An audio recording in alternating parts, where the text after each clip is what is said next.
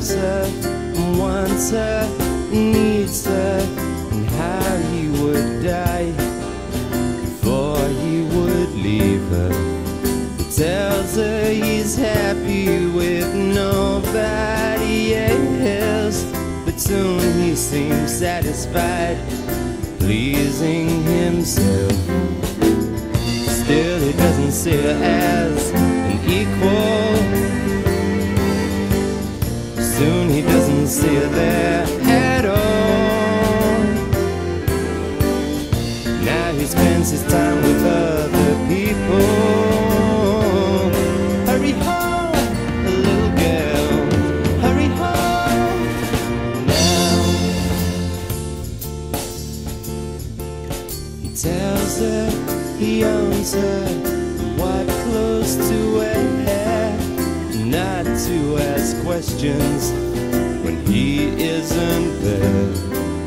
He says he considers her clever and bright, and how he's consumed by her day and by night. Still, he doesn't see her as an equal. Soon he doesn't see her there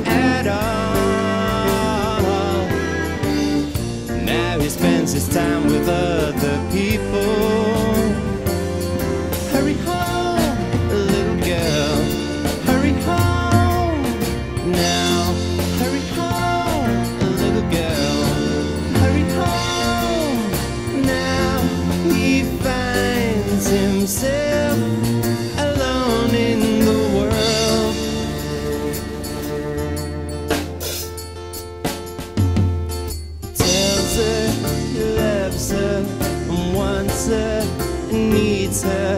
And how something dies in him. Each time he sees her he tells her he's sorry for all that he's done but still doesn't understand why she has gone.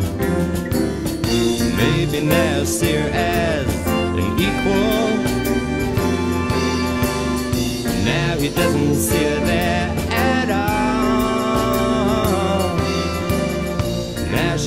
her time with other people.